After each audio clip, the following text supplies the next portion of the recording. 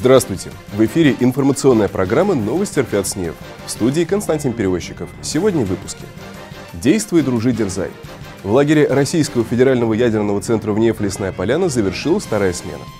Сотрудник РФИАТ СНЕВ принял участие в очной сессии фабрики инженерного творчества проекта «Облачная школа инженерного образования». Пять команд и только один победитель. На стадионе «Авангард» прошел открытый турнир РФИАТ СНЕВ по пляжному волейболу.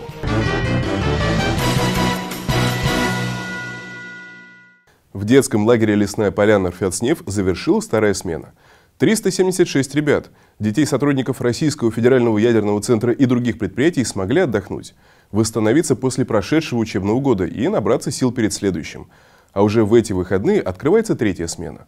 О том, как проходит летняя оздоровительная кампания в лагере Рфятснев, расскажем далее. Из года в год количество детей, желающих отдохнуть в лагерях Российского федерального ядерного центра в НИЭФ, постоянно увеличивается. Причем путевки покупают не только работники градообразующего предприятия, но и те, кто трудится в других организациях Сарова. Также своих детей в лагерь на территории Солнечной Мордовии отправляют и жители других городов. Например, из 376 детей, отдыхавших в Лесной Поляне во вторую смену, пятеро были из Первомайска и Нижнего Новгорода. Полная стоимость путевки – более 30 тысяч рублей за смену, которая длится 21 день. Тем, кто работает на градообразующем предприятии, предоставляют существенные финансовые льготы при покупке путевок. В первую очередь, конечно, это лагерь существует для сотрудников Российского федерального центра.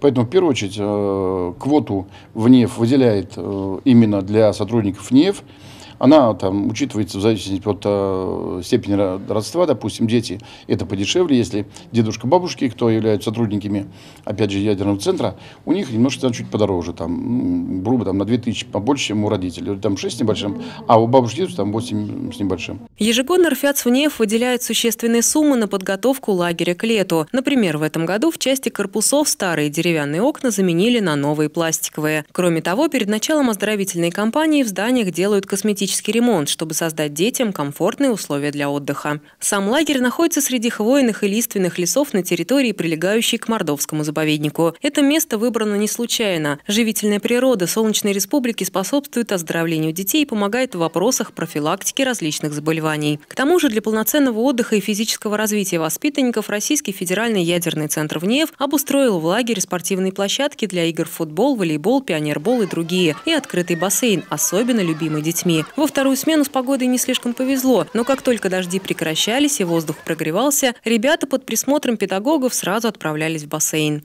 Также каждый день проходили различные спортивные соревнования. Например, накануне отъезда прошел турнир по триатлону, где в борьбе за победу сошлись все отряды и даже вожатые. именно они стали победителями состязаний. После водных игр и других спортивных мероприятий на свежем воздухе воспитанники лагеря торопились в столовую. Сбалансированное пятиразовое питание помогало детям набраться сил и поправить здоровье. Вторая смена называлась «Лесная поляна 3D» и проходила под девизом «Действуй, дружи, дерзай». Каждый день для детей придумывали новые мероприятия, соревнования и конкурсы. Ребята были постоянно заняты, на тоску по дому времени не оставалось. Ну, например, у нас э, был диджей Флай, который приезжал, он известный в Саранске, в Нижнем, мы, мы приглашали.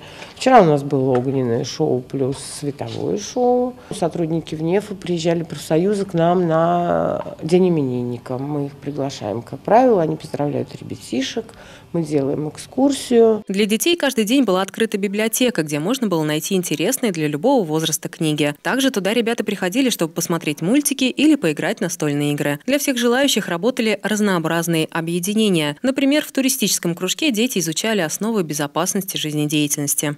Нас учили э, различать различные ядовитые растения, э, учили вязать э, различные узлы. Также мы проходили спортивную сноровку, мы учились э, надевать и обвязывать спортивное снаряжение, также мы даже э, катались по канату. Для тех, кто чувствовал себе творческую жилку, работал кружок общего творческого развития ОТР, где ребят учили красиво говорить, писать сценарии, разбираться в современных медиатехнологиях и снимать видеоролики. Приходят на самом деле самые разные дети. Кто-то уже приходит с талантом, а у кого-то талант надо развивать. Есть примеры детей, которые приходили в первую смену и ходят сейчас. И я вижу, как они выросли в творческом плане. И это очень приятно. Все свои работы ребята представили воспитанникам Лесной Поляны на собрании в актовом зале. Также под руководством Ивана ребята организовали свое собственное телевидение «Поляна ТВ» и попробовали себя в роли журналистов. Где мы показываем э, наши события, нарезку мероприятий, а также интересные рубрики, например, э, «Интересный вожатый» или «Интересный гость». Все ролики, созданные ребятами, можно посмотреть в официальной группе «Дол Лесная Поляна» в социальной сети ВКонтакте. Большую часть времени дети проводили со своими вожатыми, ставшими для своих воспитанников лучшими друзьями. Среди них были как совсем молодые ребята из Саранска и Нижнего Новгорода, которые проходили в лагере студенческую практику, так и опытные наставники, проработавшие не один год. На второй смене в ряду вожатых было несколько представителей Российского федерального ядерного центра в НИЕФ. Алексей Гусев ездил в лагерь в детстве. Сейчас он работает в Российском федеральном ядерном центре. Теплые воспоминания о лесной поляне сподвигли мужчину попробовать свои силы в качестве вожатого. И уже 8 лет Алексей на основной работе берет отпуск и хотя бы на одну смену приезжает в родной лагерь. Отзывчивый коллектив, начальство доброе, понимающее. Ну и, конечно же, дети. Отличная атмосфера, спорт, активный отдых также, клубные работы. Все вместе все здесь есть. Все, что нам нужно ребенку, все здесь есть. Другие воспитатели также признаются, что полюбили лесную поляну еще в детстве и сейчас с удовольствием приезжают уже в новой роли – старших наставников для следующего поколения детей. Атмосфера тут замечательная, дети очень солнечные, классные, а, отзывчивые, а, делают все классно, супер, что не попросишь. Любое мероприятие проходит на высшем уровне, дети молодцы. Прям я горжусь своим отрядом.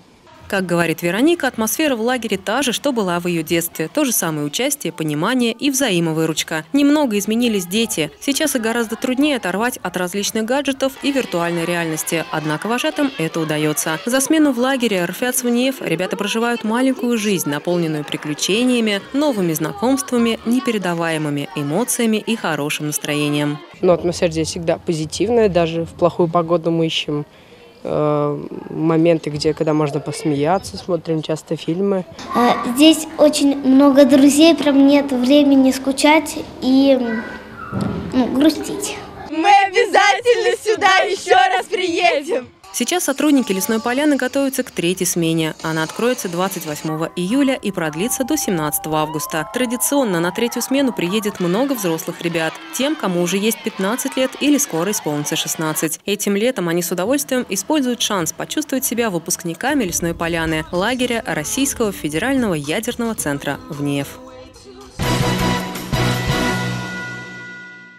Сотрудник Института теоретической и математической физики РФЯЦНЕФ Владимир Руденко принял участие в очной сессии фабрики инженерного творчества проекта «Облачная школа инженерного образования», которая реализуется при поддержке фонда президентских грантов. Мероприятие прошло с 19 по 21 июля в технопарке «Саров». Владимир Руденко рассказал о программном комплексе Master Professional, который предназначен для численного моделирования задач физики взрыва и удара – Программа адаптирована для использования даже неподготовленными пользователями и может стать хорошей наглядной демонстрацией многих физических процессов.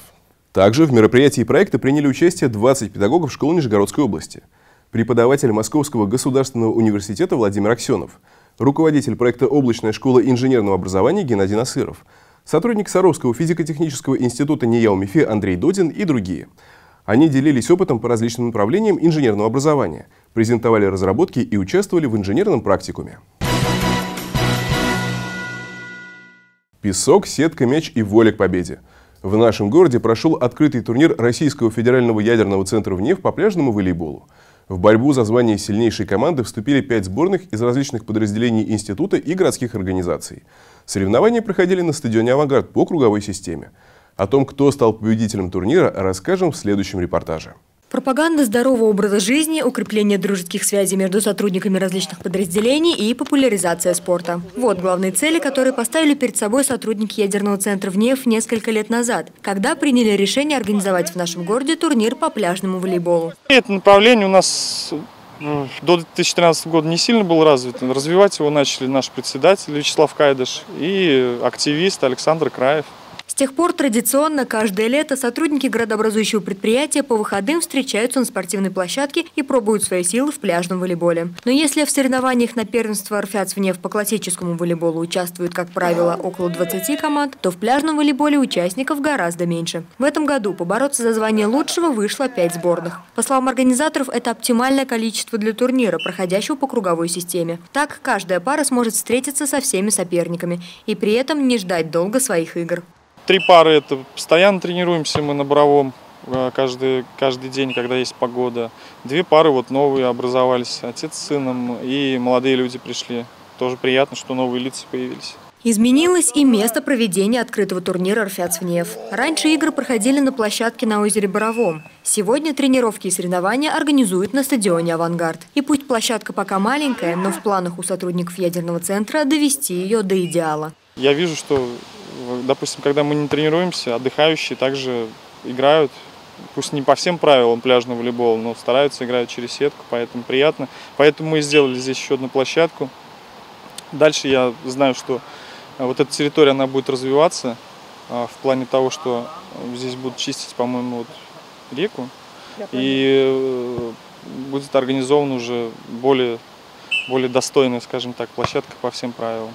Елена – единственная женщина на спортивной площадке. Она – инженер одного из конструкторских бюро ядерного центра. В свободное время Елена увлекается волейболом и уже много лет принимает активное участие в различных соревнованиях ядерного центра и города. Несмотря на то, что в пляжном волейболе спортивная площадка меньше, да и каждая партия длится до 21 мяча, а не до 25, как в классике, играть в него значительно сложнее, признается девушка. И дело не только в палящем солнце и духоте. Из-за песка тяжелее и бегать по всей площадке паре. То есть один, например, на блоке, а другой должен закрыть то место, куда, например, нападут, э, угадать, ну, либо добежать. Для Елены волейбол действительно неотъемлемая и важная часть жизни. Благодаря этому виду спорта и работе на градообразующем предприятии девушка познакомилась со своим супругом Евгением. Изначально играли в волейбол, то есть он отдельно играл в волейбол, я э, за сборную города играю в классику. Потом только я узнала про пляжный, пришла. Мы, кстати, познакомились мы как раз на пляжной площадке.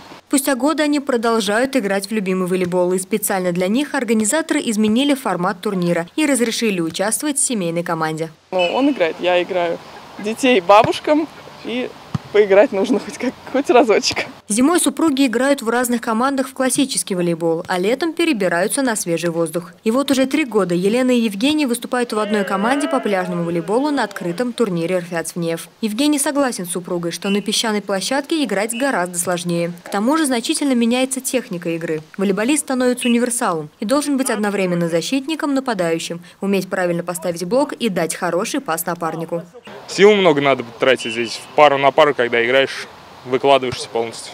Турнир «Рфяцвнев» длился несколько часов. В результате жесткой борьбы семья Гутниковых заняла третье место в турнире. За звание лидеров турнира боролись сотрудники завода «Вниев». Как итог, серебро забрали Алексей Губанов и Максим Левкин. Победителями стали Марат Мещеров и Максим Васин, обыграв своих соперников всего на два очка. Следующие игры по пляжному волейболу пройдут уже в эти выходные. 27 июля, если позволит погода, на пруду Боровом состоится открытый городской турнир. Формат будет зависеть от количества команд-участниц. Попробовать свои силы в пляжном волейболе приглашают всех желающих в возрасте от 14 лет. На сегодня это все, о чем мы хотели вам рассказать. Следите за новостями градообразующего предприятия на сайте www.vnef.ru и в эфире канал 16 каждый четверг в 19.45. Я с вами прощаюсь. Всего вам доброго и до встречи.